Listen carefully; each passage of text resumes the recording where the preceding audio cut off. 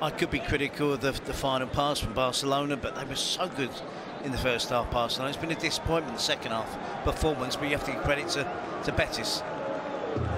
Well, another special moment, um, Carlos. Yes, uh, Pete, there we see the board. Corner comes in, it's cleared by uh, Abner. Well, nice change for him to come on for Gavi. Uh, Terry, you asked earlier about if he scores, and he will indeed smash the record. Four days uh, and beat the original record of, uh, of Bojan. And this his first touch gets a huge applause as well, 17 years and 53 days. And Messi took his time, 17 years and 331 days. Here he is again.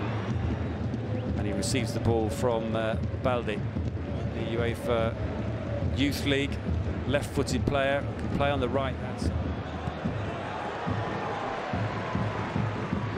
Comes out to Busquets. Araujo. And that's been nicked off of Montoya by the youngster, and it's saved. And he's fortunate, the ball falls kindly for him. Good first touch, I think he's just got cramp. Rolls it towards goal, and fine save from Rui Silva.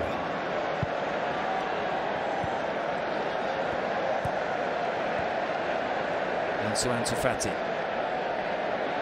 Back to Yamal. His cross uh, goes out for a corner off of Montoya. Dembele. Yamal clips that one over the top. Dembele can finish this one. Montoya. Trickles into the arms of uh, Rui Silva, but a delightful teammate, isn't he? And doesn't get the, the contact on it. From Lamine Yamal. He timed his run well, Dem Dembele. Lewandowski. Up Lewandowski.